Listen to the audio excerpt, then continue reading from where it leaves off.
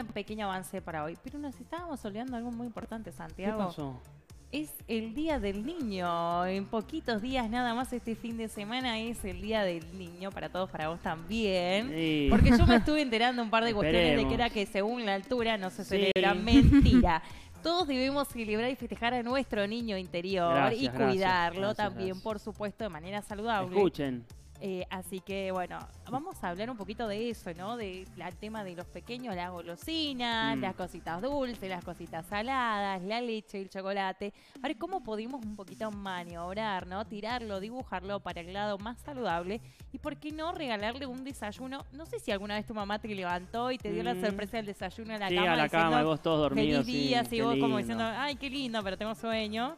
Eh, a ver qué podemos hacer, ¿no? Dibujarlo de alguna manera, hacer algo distinto, alguna cosita, algún dibujito con creatividad y tratar de llevarlo a un lado un poquito más saludable. Eh, acá nuestra querida Noy nos va a contar un poquito cómo podemos hacer, aconsejarnos con el tema de la leche, porque también hay muchos chicos que toman café con leche, ¿no? Tal el cual. tema del chocolate, eh, las cositas dulces, eh, qué es lo que más por ahí se prefieren los Bien. chicos, es muy difícil, ¿no? Eh, elegir, decir, bueno, dulce, salado. ¿Vos qué, vos qué harías? ¿Qué te, qué te daba tu mamá? ¿Dulce Y salado? yo era de lo dulce. Era Pero, muy- ¿Qué te gustaba? ¿Qué te, qué te, qué te hacía tu mamá?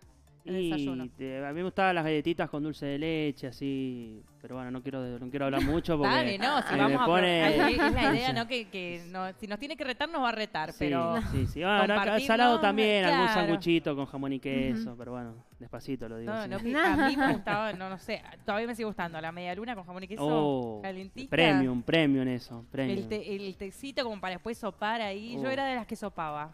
Qué sé que eso no se hace, pero yo era de las que sopaba Bueno. y las cosas caseras hechas en casa mejor. o sea, no, no, no había forma. Bueno. Ahí, en ese caso, bueno, no, y contanos qué, qué, qué alternativas o que por ahí cuando van a tu consultorio, en este caso las mamás, Ujú. que co- como una, como mamá nos cuesta por ahí generar estos cambios de hábito, decir, bueno, en el desayuno o el día del niño se lo mima, ¿no? Dice, bueno, dejamos por ahí las cosas saludables de lado, pero ¿qué alternativas podemos llegar a hacer como para decir, el que no se dé cuenta, ¿no? El niño que, que está comiendo algo sano y que después le tome el gustito a ese hábito. Bueno, em, como vos decías, el Día del Niño por ahí es como que se lo mima un poco más, es como cualquier evento que tiene un niño, como por ejemplo también algún cumpleañito familiar, podemos aprovechar este consejo también para implementar eh, cuando se tenga algún eh, cumpleaños o algún evento eh, donde haya niños. En primer lugar, hay que cuidar la alimentación saludable durante la semana, ¿bien? O sea, durante la semana, durante, me refiero a esta semana por lo que ahora es domingo, el Día del Niño. Pero cuidar la alimentación siempre que sea posible, ¿bien? Realizar todas las comidas en casa, esto caserito que vos me decías. em, preparar al niño, mostrarle lo que uno le está preparando, porque por ahí uno como que en, el día a día estamos tan apurados que por ahí no le mostramos cómo son los alimentos realmente. Qué es la avena, qué es la fruta, bien, qué es el arroz, qué es la proteína, qué es la carne, todo eso, ayudarlo eh, y acompañarlo en, en las comidas del día a día, que sea partícipe de lo que se está comiendo, bien. Muchas veces por ahí un consejo eh, que suelo dar es que el niño cocine junto con la mamá en casa para que vaya conociendo también los colores, por ejemplo, también de las verduras. Eh, y con respecto al- a lo que es el Día del Niño, que por ahí reciben muchas golosinas, ya sea porque el familiar se lo regaló, porque se lo regaló el papá o porque fueron a algún evento, que me imagino que van a haber un montón en la provincia, el consejo es guardar las golosinas, bien, y tratar de distribuirlas, o sea, no que se los coma todo ese mismo día o al otro día, pero tratar de, de distribuirlas, bien. No darlas como premio, porque no hay que premiar al niño con que eh, si me como todo el plato de verduras, este es tu premio, porque en realidad eso no sería fomentar una alimentación saludable. Pero sí que el niño entienda que hay momentos de disfrute, bien, como por ejemplo un cumpleaños, como por ejemplo ahora el Día del Niño, bien. Entonces, eh, ese disfrute, sí, no hay problema, puedo comer un poco más de azúcar, un poco más de grasa, que por ahí es lo que no está acostumbrado a consumir pero que durante la semana o durante el día a día tener una alimentación saludable, ¿bien? Después, bueno, le puede gustar tanto lo dulce como lo salado, no hay ningún problema. El sanguchito con jamón y queso está totalmente aprobado, eso no hay problema. Y con respecto a lo dulce, evitar lo que es el azúcar. Por ejemplo, habíamos estado hablando también de lo que es el chocolate. Mm. Evitar agregarle más azúcar al chocolate que ya generalmente trae azúcar. Y si no, por ahí optar por un chocolate amargo, bien, para cuando uno le quiera preparar el, chocolate con leche. Y si le gusta el café, bueno, habíamos estado hablando la semana pasada un poquito del café, evitar lo que es el café torrado y eh, si se quiere agregar café, que sea café de café y una cantidad obviamente mínima para un pequeño porque eh, la cafeína obviamente que en el que todos los días no es eh, aceptable. Eh, Doc, no sé si alguna vez pudiste ver, viste que por ahí, como estamos hablando de los desayunos, esos que ya vienen listos, preparaditos, y de por sí uno dice, lo compra y le llama mucho la atención, lo ve y está muy lindo, muy armado, muy bien preparado, Mm. pero es lo que acabas de mencionar, ojo con el azúcar, porque la mayoría de las cosas que vienen, vienen prácticamente ya cerradas, envasadas, por ahí no son todas caseras, no sabes de qué preparación es, esto como muy bollenería, incluso los jugos, Sí, Viste que por ahí mucho ya o compra un juguito X de marca en la cajita y cuando te vas a leer la etiqueta, que vos nos enseñaste a leer las etiquetas, te das cuenta que es pura azúcar. tal cual. ¿Qué aconsejas vos? ¿Que le hagamos el jugo en la casa? ¿Que lo preparemos en la casa? ¿Cómo, ¿Cómo acompañamos? ¿Cómo armamos el desayuno? Bien. El té, la leche, el chocolate, el juguito. Bueno, si le queremos dar algún jugo natural, siempre obviamente prepararlo en casa eh, de manera casera. Bien, si se quiere aprovechar lo que son las vitaminas del de la naranja, por ejemplo, se prepara el jugo de naranja y se toma inmediatamente, porque si no la vitamina C se volatiliza, bien. O sea, no preparo una jarra de jugo y la voy sirviendo toda la semana porque no nos serviría.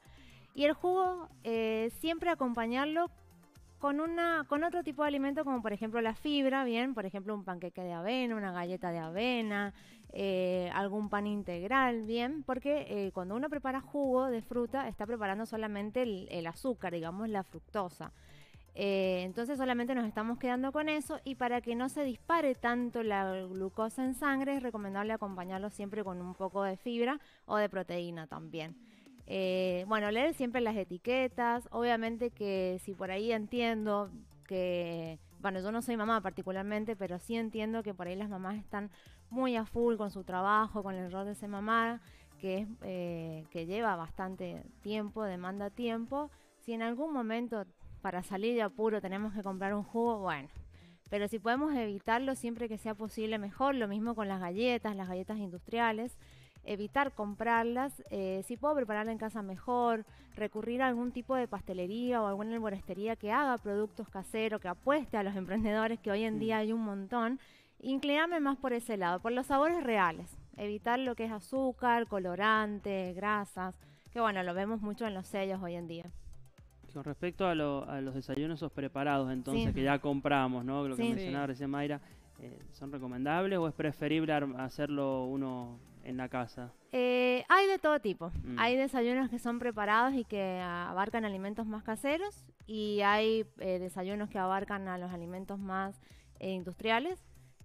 Hay que saber elegir, obviamente, pero si no, lo podemos preparar en casa, es muy buena opción. De hecho, eh, la alimentación, eh, bueno, lo hablamos en el primer, primer eh, em, programa, Sí. de lo que es la alimentación. Entonces, em, digamos, de lo que es el vínculo de, eh, de amor, de contención, que eso es lo que nos brinda la comida, bien, cuando hablamos de las comidas sociales.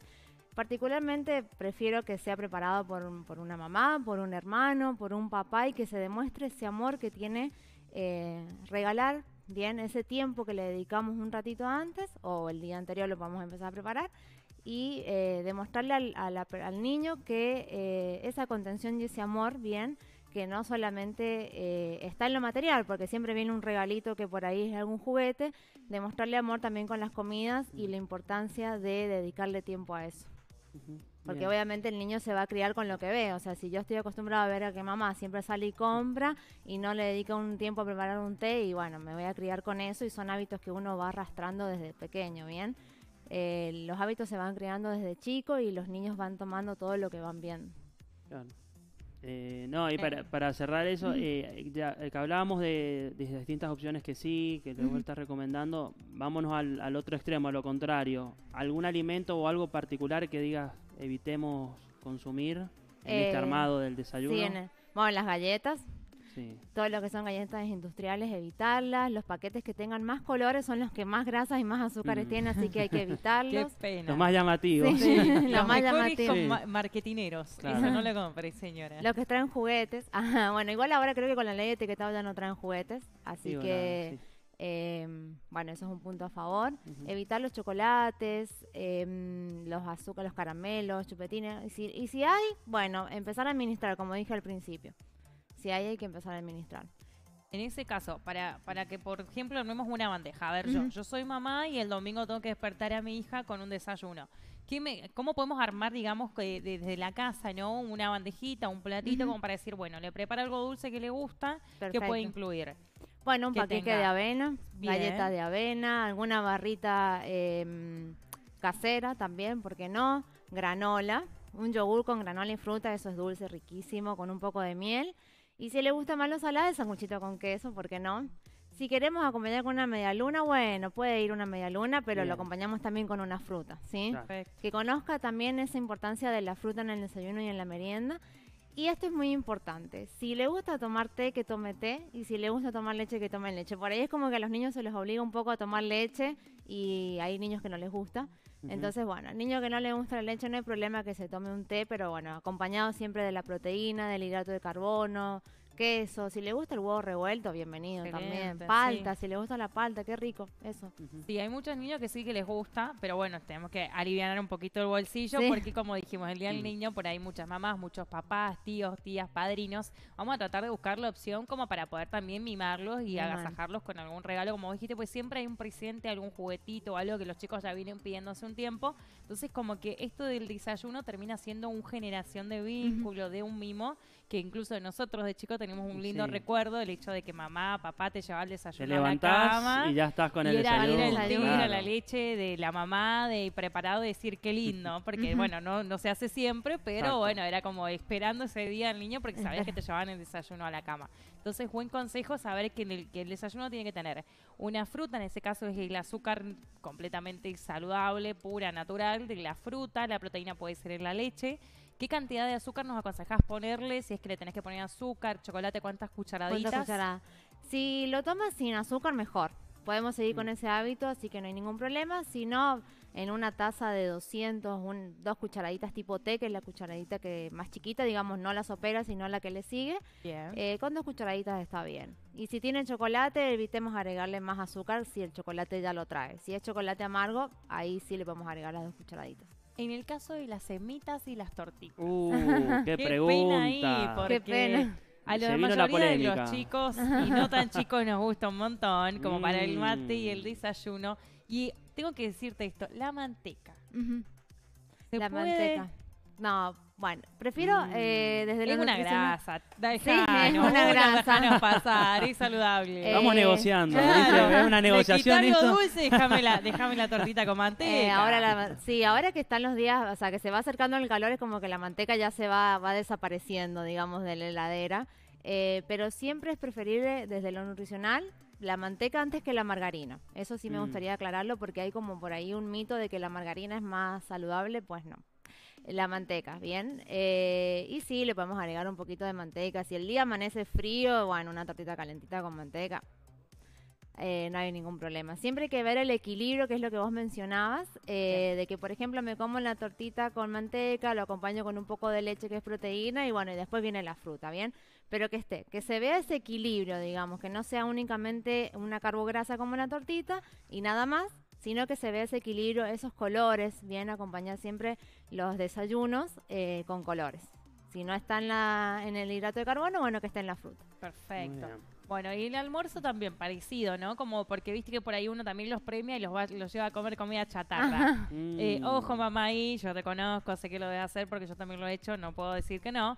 Eh, pero bueno, ¿cómo podemos equiparar eso? Eh, no, bueno, si se decide llevar al niño a comer ese día, es como lo que hablé al principio, existen días que son de disfrutes y existen días que son el del día a día, digamos. Enseñarle al niño que esto es disfrute, ¿bien? No es todos los días, eh, no es que siempre se va a comer comida chatarra, no es que todos los fines de semana se va a comer comida chatarra, sino que hoy es el día del niño, es como cuando alguien Una tiene un ocasión evento. especial. Claro. claro. Exactamente, sí. Sí, sí, sí. Eh, aprender, hay que aprender también.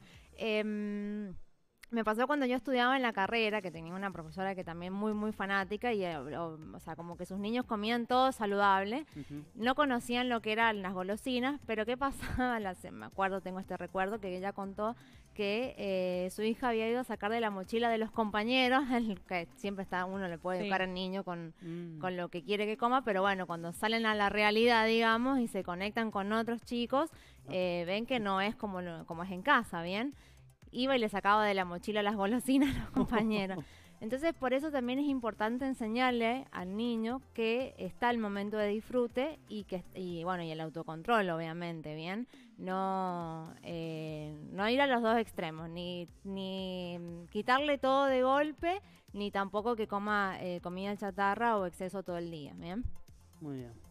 Bueno, ya sabemos entonces como para, para ir cerrando de esto, qué es lo que podemos eh, brindar como para hacer un mimo, como habíamos mencionado, generar ese lindo vínculo, compartir y siempre teniendo en cuenta, ¿no? Marcando también estos límites de que son un momento distinto a compartir para disfrutar y que no, no generar este, este exceso de que todo tenga que tener relación con la comida, que eso también está muy bueno que por lo charlemos, porque a nivel emocional y a nivel psicológico es eso que nos conecta con después dichos traumas, ¿no? Que terminan desarrollando distintos problemas alimenticios. En vez de generar esto con los chicos, ni obligarlos a comer todo, ni obligarlos a comer aquellos que no les gusta o porque en casa hay lo que, lo que hay, se come. Bueno, démosle la oportunidad también Claro. a nuestros hijos y a nuestros chicos de decir, bueno, está bien, es lo que hay, pero démosle una alternativa también dentro de todo que tenga la opción de elegir y decir, bueno, esto me gusta, esto no, y que poder convivir dentro de ese rango y saber qué se puede comer para estar un poquito mejor y qué no.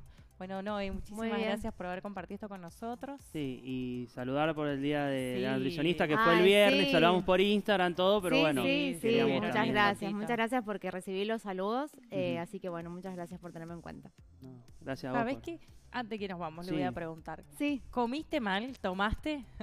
el día de la nutricionista, sí, no- Ah, o sea, no sé, o sea, en realidad ese día lo aboqué mucho a, hacer una educación en todos los lugares donde trabajé ese día, llevé opciones saludables para desayuno, para merienda, O sea que Como te la para hacer una- trabajando.